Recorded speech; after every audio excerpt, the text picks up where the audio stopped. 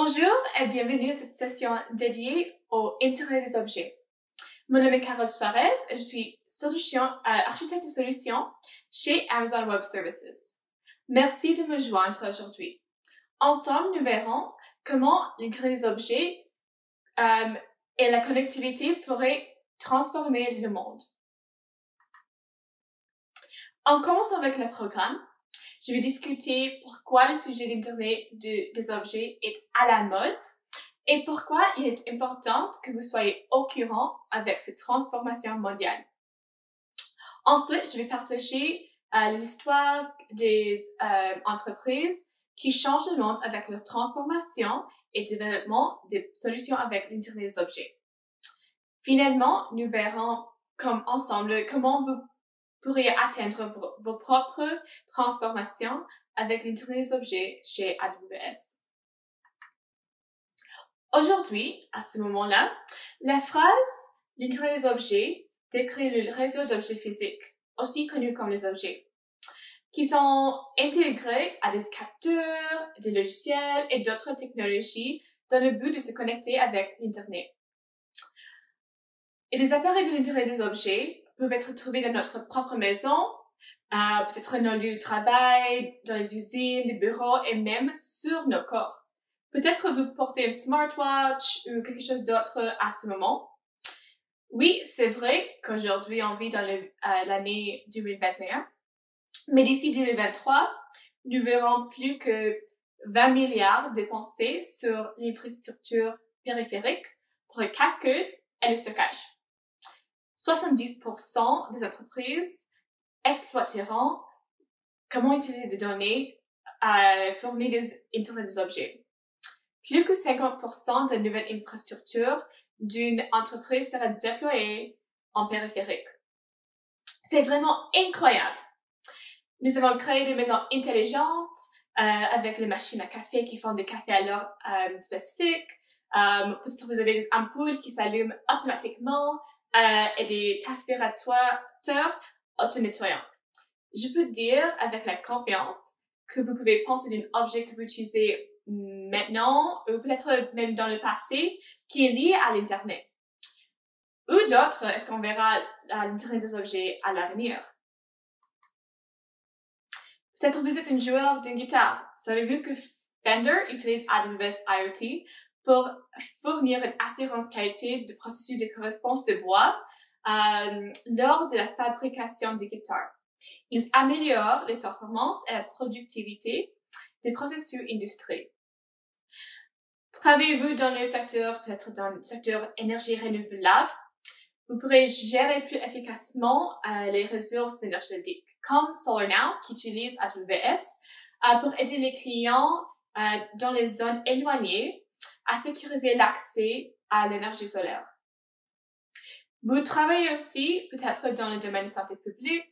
Euh, il y a une plateforme numérique que Philips Health Suite a créée avec le but de la surveillance à distance euh, des applications et le bien-être des patients. Peut-être souhaitez-vous une monde avec le transport de véhicules autonomes? BlackBerry et même Karma utilisent AWS pour atteindre nos rêves des voitures autonomes. On voit aussi la cultivation des cultures plus saines, euh, avec une plus grande efficacité. On voit aussi les entreprises qui suivent les niveaux d'inventaire et gérer les opérations des entrepôts. Et aussi l'amélioration de la sécurité à la maison, au bureau et en usine. Enfin, êtes-vous fatigué de nettoyer? Moi aussi.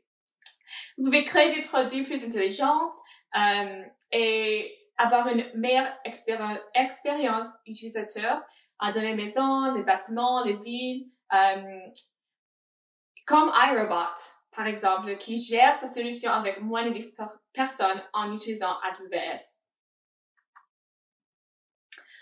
Donc, pourquoi changeons-nous les méthodes de travailler dans le domaine technologique? Il y a deux raisons pourquoi. Avec l'analyse sur les données, vous faites des décisions plus intelligentes. Vous, verrez une augmentation de l'efficacité, les meilleures relations avec vos clients et vos emplois. Deuxièmement, les résultats des données de l'Internet des objets réduisent les dépenses opérationnels et vous pourrez bâtir de nouveaux services et produits qui stimulent la croissance opérationnelle. Il y a aussi des tendances dans les industries. Par exemple, les données comme facilitateur d'améliorer les opérations. Euh, il y a aussi les décisions de fabrication faites avec l'analyse numérique. Il y a aussi un changement de modèle d'affaires euh, avec la création de produits et machines comme service. Plusieurs produits connectés euh, qui fournissent une meilleure compréhension du comportement des clients et ça améliore l'expérience clientèle. Finalement, la durabilité de l'environnement. Les fabricants sont les principaux consommateurs euh, d'énergie de monde. Avec euh, des objets, euh, ils voient qu'il y a une forte volonté d'être plus durable et d'être respectueux avec euh, l'environnement. Maintenant, je discute une terme industrie 4.0. Donc, Industrie 4.0, c'est une quatrième révolution industrielle. Euh, on voit l'automatisation continuelle de la fabrication traditionnelle euh, et des pratiques industrielles en utilisant des technologies intelligentes et modernes. Cette transformation numérique industrielle fait référence aux clients euh, dans les industries telles que à la fabrication, euh, l'énergie comme le pétrole, le gaz, énergie renouvelable, l'agriculture. Euh, et toutes les entreprises utilisent ces technologies comme le cloud, euh, des objets et l'analyse avancée pour améliorer la productivité et des coûts moins élevés. Et nous, chez AWS, comprenons que chaque entreprise, chaque industrie ont leurs propres défis et nous sommes prêts à travailler ensemble pour mettre en place la connectivité de besoins. Alors, pour vraiment mieux comprendre l'intérêt des objets chez vous, nous commençons avec quelques questions. Où est votre périphérique? C'est quoi euh, une périphérie? Et qu'est-ce que vous pouvez faire à la périphérie? On pense que la périphérie fournit une infrastructure et des logiciels qui permettent de déplacer le traitement et l'analyse de données aussi près nécessaire euh, du point final. Cela inclut le déploiement des matériels, des logiciels, des appareils, euh, après gérés par AWS vers le site situé en dehors du centre de données et même sur les appareils appartenant aux clients euh, eux-mêmes. Et pourquoi l'avantage est-il important pour vous? Euh, de plus en plus, on voit que les développeurs euh, découvrent les avantages de faire des calculs, l'apprentissage machine, euh, une analyse plus proche de l'utilisateur final euh, et même sur l'appareil lui-même.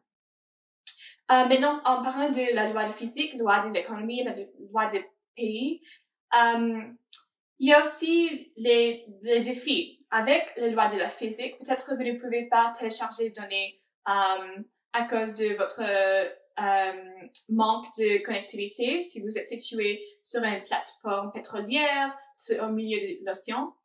Avec loi de l'économie, peut-être vous, vous n'êtes pas, euh, vous n'avez pas la permission de télécharger les données dans le cloud parce qu'il y a beaucoup de données et votre avion, votre ligne de fabrication produit des terras de données à, tout, à tous les heures.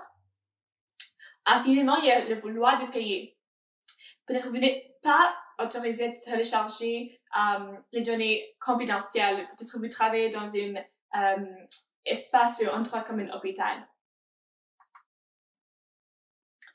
Donc, si les données permettent cette transformation, je parle encore de quelques défis que vous devez penser en avance.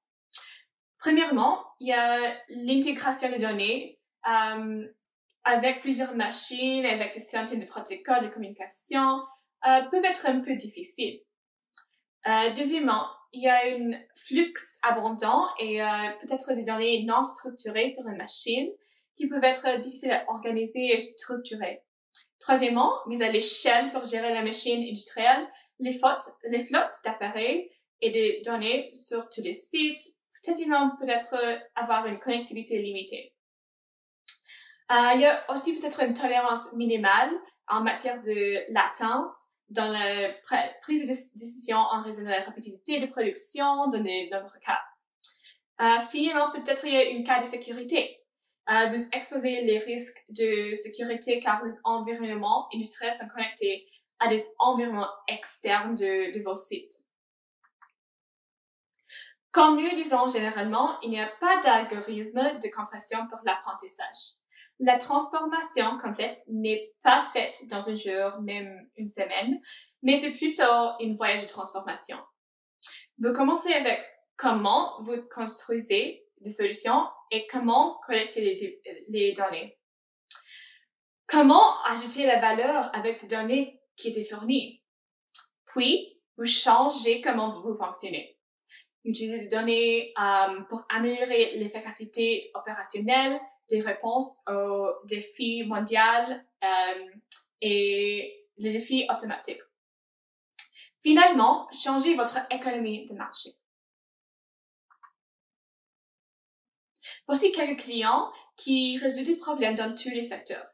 Um, je vais présenter dans les prochaines diapos um, quelques exemples de clients qui ont uh, utilisé AWS pour développer et transformer leur propre entreprise. Donc, que font nos clients pour transformer leur entreprise en commençant avec Vector? So, les entreprises énergétiques de l'avenir doivent s'éloigner un peu des systèmes linéaires traditionnels et examiner la façon euh, de modeler et modifier leur entreprise. La nécessité de trouver rapidement une solution est encore stimulée par les grands défis mondiaux euh, qui posent le changement euh, climatique et la décarbonisation. Il y a une demande par les consommateurs pour une euh, énergie plus propre ainsi que par la participation active à la réduction de carbone des ménages. Le système énergétique existant ne peut plus répondre à ces besoins des consommateurs, de l'environnement et de la société. Donc, euh, Vector change le modèle en plaçant le client au centre et en créant un système euh, qui s'appelait la nouvelle plateforme énergie ou NPE. Donc, la nouvelle plateforme énergétique NPE améliorera radicalement la façon dont nous euh, recueillons et traitons les données et la consommation d'énergie à partir des capteurs avancés aidera à débloquer les produits et services énergétiques innovants et des solutions centrales aux clients. Euh, les informations recueillies par le NEP aideront Vector à permettre aux entreprises d'énergie et de services euh, publics de développer des produits et des solutions pour les clients en fonction de leurs habitudes et de consommation d'énergie. Puis, on a l'exemple de Volkswagen. So, Volkswagen est une entreprise qui utilise Sitewise, une service analytique euh, dans le domaine euh, de l'Internet des objets. Um, ils sont le plus grand constructeur automobile au monde et ils transforment l'industrie de la fabrication automobile avec l'un des plus grands projets de l'industrie 4.0 um, afin d'améliorer les performances de production et les logiques dans leur usine de fabrication. Um, le cœur de ce projet est la plateforme de production numérique, qui est un projet euh, clé pour améliorer la performance de 30%, euh, pour être beaucoup plus flexible, et aussi d'économiser des milliards de dollars.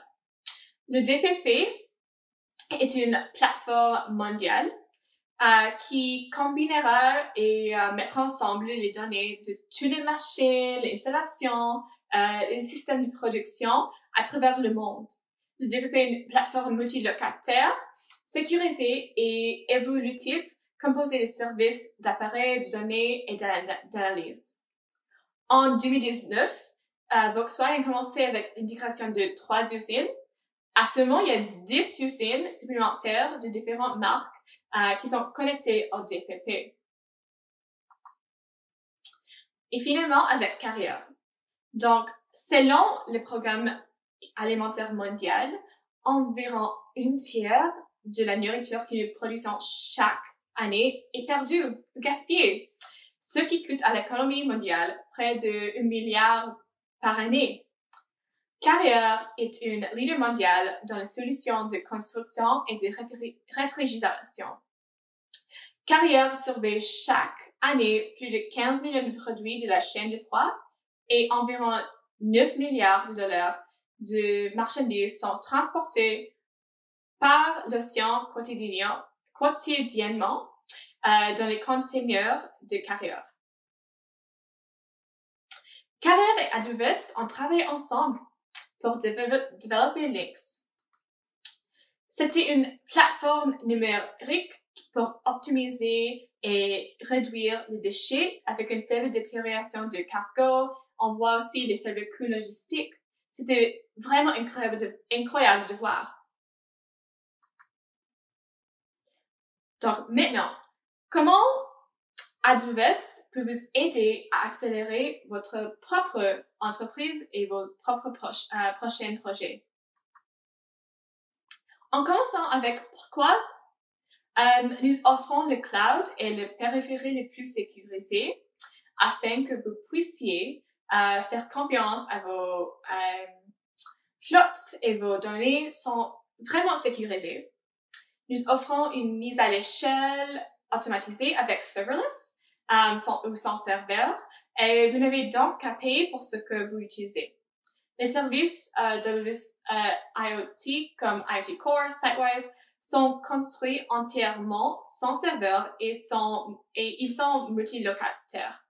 Ce qui signifie que vous pouvez connecter un ou 100 millions d'appareils sans penser à l'infrastructure sous-jacente. On voit aussi les, on a aussi les offres les plus larges et les plus profondes de cloud euh, pour que vous puissiez faire quoi que ce soit, quand et où, euh, n'importe quoi vous pouvez le faire. Nous travaillons avec les partenaires euh, pour aider les clients avec plusieurs solutions dans plusieurs euh, industries. Finalement, euh, nous amenons l'expérience et la maturité. Chez AWS, nous comprenons que vous existez en différentes phases de votre transformation. donc, vous avez quelques choix. Euh, si vous voulez bâtir vous-même, nous avons plusieurs documents, des guides, des programmes d'accélération que vous pouvez utiliser et éduquer vos équipes. On a aussi des services professionnels qui puissent donner d'aide avec l'époque ou l'analyse euh, des cas d'entreprise. La deuxième euh, façon est que vous pouvez travailler avec les partenaires AWS qui bâtissent des solutions spécifiques. Ou la troisième façon, vous pouvez déployer les solutions qui sont déjà bâties. On a des solutions AWS euh, ou de nos partenaires qui sont déjà faites pour adresser des, des, des cas plus communs chez les industries.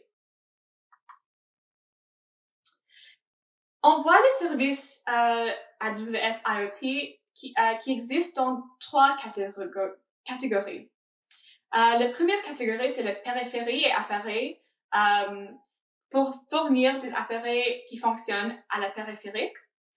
Euh, il y a aussi la connectivité contrôle pour gérer, sécuriser euh, vos appareils. Et il y a aussi les services d'analyse, l'analytique, l'intelligence artificielle, l'apprentissage machine, pour utiliser les données euh, de l'Internet des objets et de prendre l'action à, résoudre les, les problèmes d'entreprise.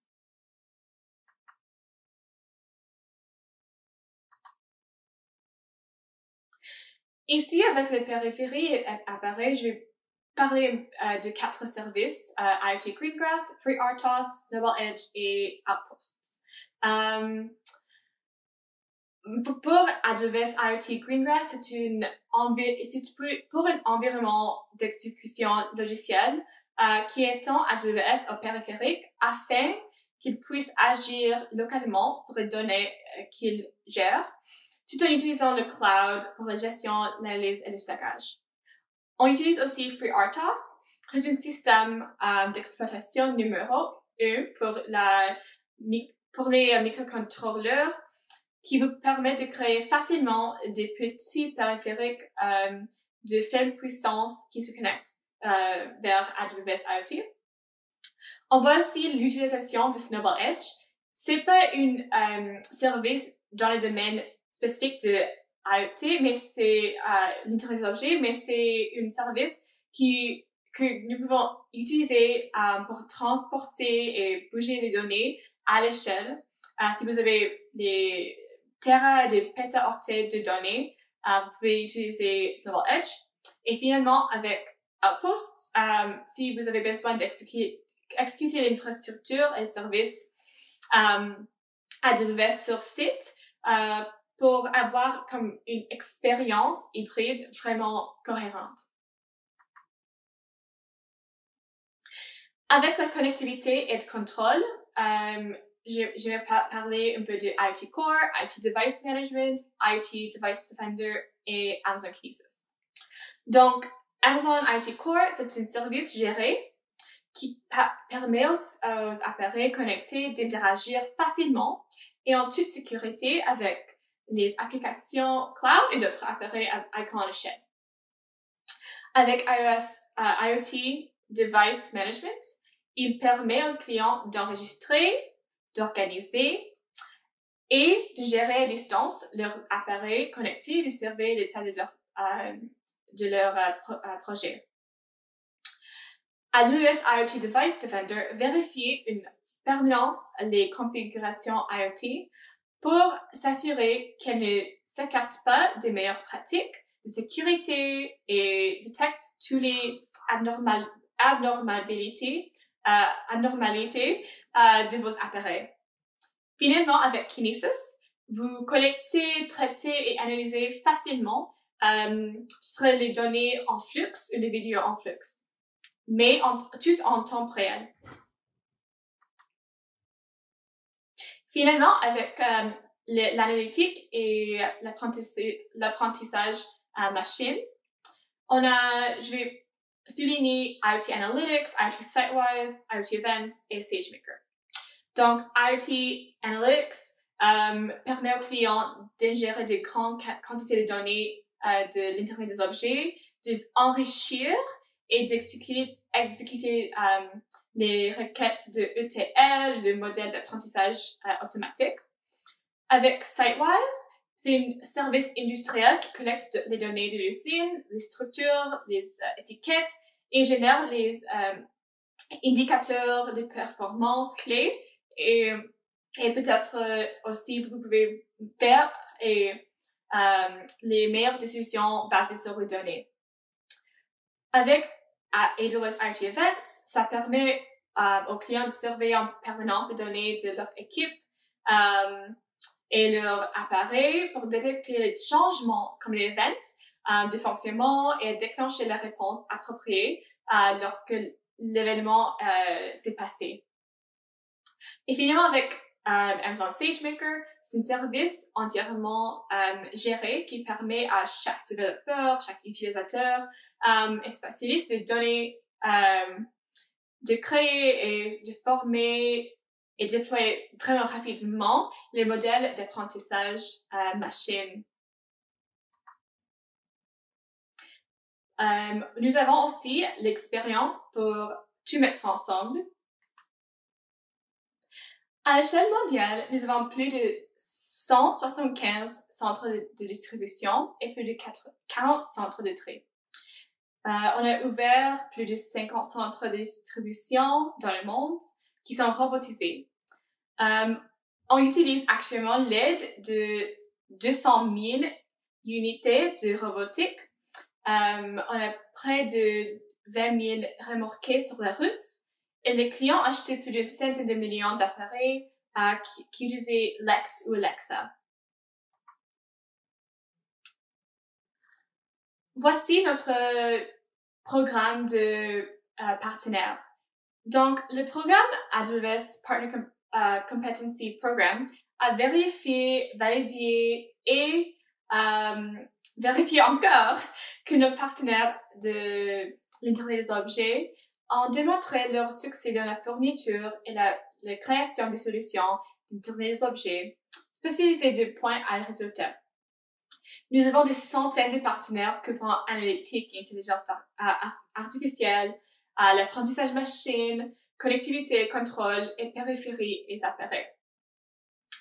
notre réseau de partenaires aide tous nos clients, quel que soit leur secteur d'activité et leur cas d'utilisation, et ce réseau, euh, ce réseau ne cesse de croître.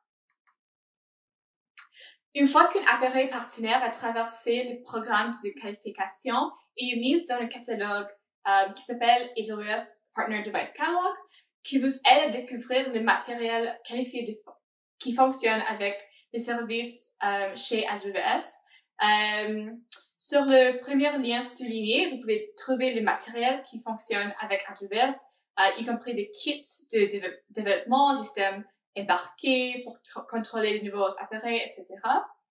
Avec des centaines d'appareils et plus encore qui sont qualifiés, vous pouvez vraiment choisir et, et voir ce qui euh, peut vous aider pour fournir des solutions d'Internet des objets euh, chez vous.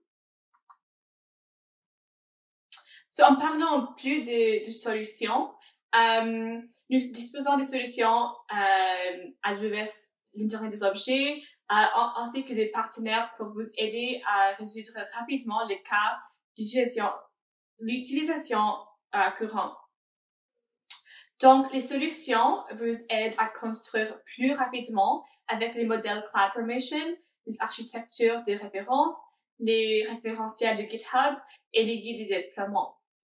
Euh, les solutions partenaires reposent sur AWS euh, ils sont prêts à l'emploi à partir de la bibliothèque de solutions AWS et du marché AWS avec des euh, centaines d'offres euh, pour euh, vos applications de l'Internet des objets. Euh, nous avons créé un espace permettant aux clients de, parcourir toutes les solutions sur le, le première ligne soulignée. nous avons également une initiative AWS pour euh, industriel dédié aux deuxième adresse en bas. On offre aussi une solution de l'usine connectée. Peut-être vous savez le nom comme Connected Factory.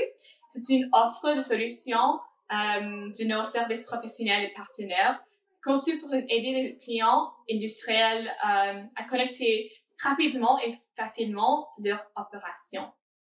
Peut-être si c'est quelque chose d'important euh, ou euh, intéressant pour vous. Pour en savoir plus sur euh, AWS IoT, rendez-vous sur euh, le lien ici.